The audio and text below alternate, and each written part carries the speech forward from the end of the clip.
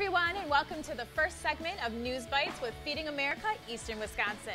I'm your host, Sorrina Beecher, and today we're in the food sorting room here at the downtown Milwaukee warehouse. Let's start off with some positive news, shall we? We wanted to share a wonderful email we received from a woman who recently attended the farm to family distribution in Oshkosh. She says, I am extremely humbled by having to take advantage of this program. Never in a million years did I think I would be in this position.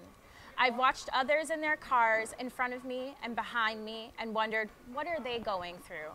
I've cried each and every time I drove away as I am so very gracious of this program, with hopes I will never be in this position again, in need of assistance.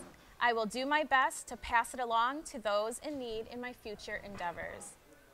Well, we certainly love to hear that, and we want everyone to know that you should never feel alone if you need food. Feeding America Eastern Wisconsin recently installed metal detectors at its Appleton location to help reduce waste in the food supply chain.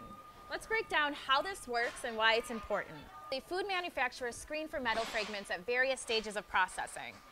Since we often rescue food that's been rejected by manufacturers purely due to cosmetic reasons, we're often the ones that take on the final step before distribution. Our volunteers will be able to operate the metal detector at their Appleton location as soon as they complete training. Before COVID, Feed Your Soul was a community gathering that celebrated local arts and culture, but we're never one to miss an opportunity to feed our struggling neighbors in need. This year's event will be virtual, and our community members can bid on exclusive art from the comfort and safety of their home. The theme of this year's Feed Your Soul event is community, with the event's logo designed by Brandon Minga, a local artist and a Feed Your Soul committee member who recently received the 2020 Mayor's Design Award.